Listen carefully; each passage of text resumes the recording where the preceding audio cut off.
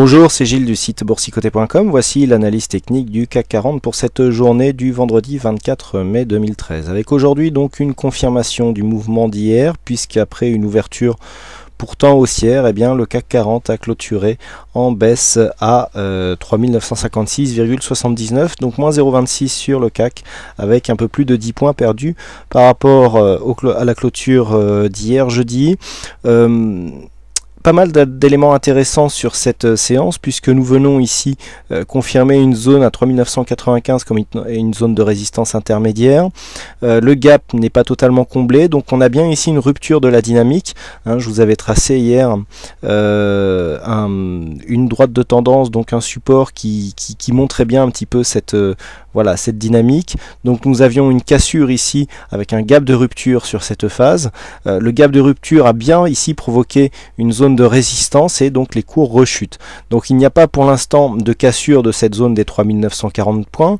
On avait tracé un retracement de Fibonacci qui a été perdu en route, voilà. Donc on confirme ici des contacts avec cette zone mais sans réellement attaquer ici le retracement des 23,6% de Fibonacci euh, qu'il fallait euh, vraiment euh, casser d'une manière beaucoup plus significative afin de confirmer le signal baissier. Donc on est un peu entre deux eaux sur cette configuration. Du point de vue des indicateurs, donc on a un RSI qui redescend un peu plus franchement, le stochastique qui, sort ici de sa zone de survente, avec une confirmation du signal du MACD, puisque nous continuons sur une évolution baissière. Par contre, un élément qui confirme ici le fait que ce mouvement est peut-être finalement qu'un mouvement euh, temporaire, c'est l'évolution ici des volumes, puisque même si hier nous avions ici des volumes supérieurs à la moyenne, eh bien ils s'inscrivent légèrement au-dessous, en dessous, pardon, sur cette séance, donc ce qui confirme le manque de puissance ici de ce mouvement de retracement, alors que euh, la, phase de hausse ici a été vraiment très forte. On a une grosse amplitude, on est parti de 3584 pour marquer un plus haut à 4060 points. Euh, on a ici, on, est relativement haut, on est monté euh, sans phase de respiration. Ici, à peine on revient chercher ici une zone de point bas que euh, des supports apparaissent déjà. Donc, pour, euh, résumer, je dirais que nous avons ici une phase de rupture de dynamique. le mouvement haussier n'est pas encore n'est pas encore, cassé. Alors, je vous disais hier qu'il manquait de points bas significatifs pour vraiment mesurer ici l'importance de cette phase de, de, consolidation puisque nous n'avons pas réellement cassé de points bas significatifs. Il n'y en a pas. Donc c'est assez difficile. On en a un qui est ici qui n'est pas très significatif. Bon. Donc on, s'était, euh, on avait pris des repères sur les retracements de Fibonacci. Force est de constater que le retracement des 23,6% n'est pas cassé, que le support ici que j'ai rajusté à 3940 points sert bien ici de zone euh, de support. Qui plus est, nous avons ici cette moyenne mobile 20 exponentielle qui se rapproche. Et donc pour ceux qui, euh, eh bien, qui, utilisent notamment le, trading en tendance, on sait que lors des phases de hausse sur une phase de consolidation, tant qu'on n'arrive pas ici à passer sous cette moyenne mobile 20 exponentielle, eh bien c'est euh, un signal de continuité haussière. Donc pour l'instant, euh, nous sommes ici sur une phase euh, de respiration. Il n'y a pas de phase de consolidation pour le moment. On a ceci dit un comblement de gap qui n'a pas été fait. Euh, donc il y a encore des pressions baissières. Il y a des pressions baissières donc sur le comblement de ce gap puisque malgré une ouverture relativement proche, on n'a pas réussi à totalement combler cette zone.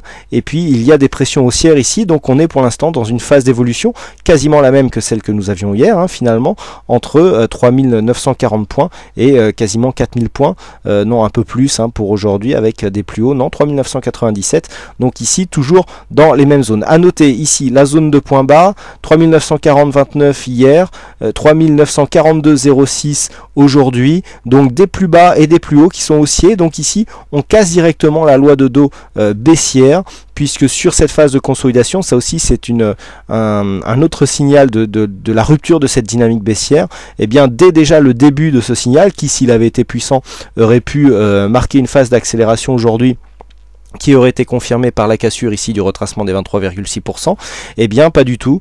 On, donc on, marque ici un point bas légèrement inférieur au précédent, ce qui contribue là aussi à casser la dynamique. Donc ici, une euh, configuration mi-figue mi-raisin, tant que la zone ici est 3940 point tiendra, eh bien on n'aura pas de réelle phase de consolidation. Il faudra plutôt interpréter ça comme un signal de un possible signal de continuité à la hausse. Alors nous sommes vendredi et je vous propose maintenant une vue hebdomadaire des marchés. Alors d'un point de vue hebdomadaire, la phase de consolidation n'existe même pas puisque nous sommes ici sur une bougie qui continue à, euh, donner des, points, euh, des points hauts qui sont au-dessus de la bolle supérieure. Euh, on a ici des points bas et des points hauts qui sont toujours plus hauts que les précédents. Donc il n'y a pas de phase de, il n'y a pas de fragilité sur cette tendance ici, à part le fait que la bougie soit rouge, mais ça bon ça n'a rien, ça n'a aucun caractère exceptionnel. Mais pour l'instant, du point de vue de la loi de dos, en tout cas hebdomadaire, il n'y a pas de rupture de cette dynamique. Donc cela aussi contribue à donner à, cette, euh, à cette phase de consolidation qui est visible sur le graphe daily un peu moins d'importance. Donc sur le, euh, le, graphe hebdomadaire. Donc nous avions euh, quantifié un objectif à 4049,60 la semaine dernière, et eh bien qui a été atteint.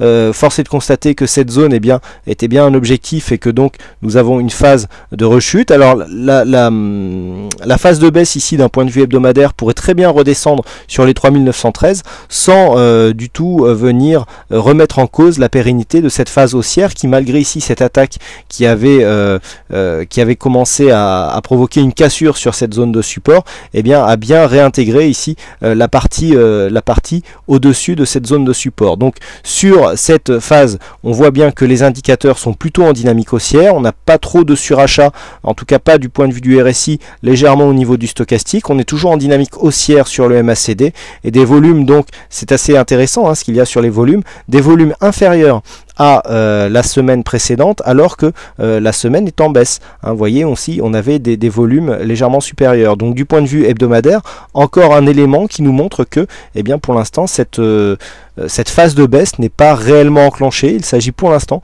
que d'une phase de, de, respiration, en tout cas de consolidation temporaire qui se fait au sein d'une tendance qui reste haussière. Donc les points pour la vue hebdomadaire sont assez simples, on vient de les définir, pardon.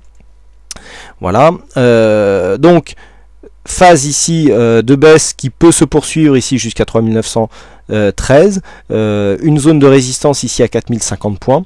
Donc, la cassure ici des, 4, des 3913 pourrait très bien revenir ici sur la zone de support qui reste une zone de support significative.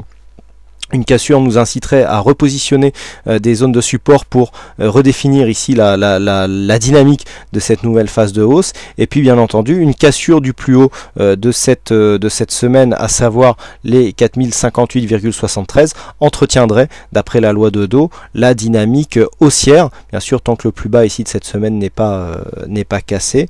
donc cela entretiendrait la, la tendance haussière du point de vue de la loi de dos sur cette échelle hebdomadaire. Donc on le voit une tendance qui reste, qui reste orientée euh, à la hausse, donc sur euh, l'horizon euh, moyen terme, puisque nous étions en vue hebdomadaire. Alors, pour synthétiser tous ces éléments et pour revenir à la vue daily, comment jouer cette séance lundi? Alors, séance lundi qui risque d'être peu animée.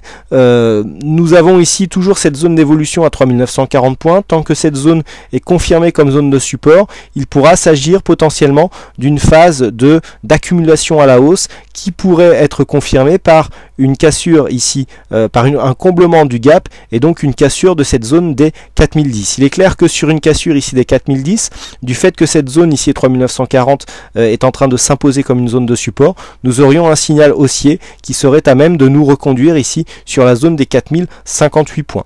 Du point de vue euh, des signaux à probabilité, il y avait euh, hier des sorties de signaux euh, baissiers. Alors c'est vrai un signal baissier euh, dont que certains m'ont fait remarquer, donc il était euh, très perdant. Alors je rappelle que les signaux baissiers que nous avons ici, c'est indiqué à gauche, sont euh, des signaux de couverture. Donc si vous étiez ici sur une, euh, une position baissière avec des titres qui surperformaient l'indice, hein, comme il est indiqué donc dans le livre Gestion stratégique de portefeuille, même si effectivement il n'y a pas eu un gain qui aurait pu être beaucoup plus grand, eh bien vous avez dû normalement continuer à faire de la plus-value. Et puis comme me l'ont fait remarquer certains, sans couverture, il aurait peut-être aussi, été difficile de tenir ses positions jusqu'au bout. Hein. donc la couverture qui, quelquefois, peut effectivement euh, amoindrir les, performances, mais qui permet d'être plus serein dans sa gestion de euh, portefeuille. Donc nous avons des signaux haussiers. Euh, je vous laisse consulter donc le livre Gestion stratégique de portefeuille, comment gérer les signaux qui sont apparus ici. Voilà donc ce que l'on peut dire sur cette analyse euh, technique. Alors aujourd'hui, c'est Zelda qui gagne au jeu du fixing, donc bravo à toi Zelda.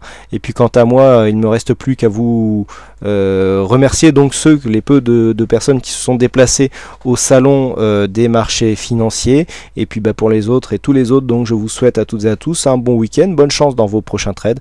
Et je vous donne rendez-vous donc dès la semaine prochaine pour d'autres analyses techniques en vidéo.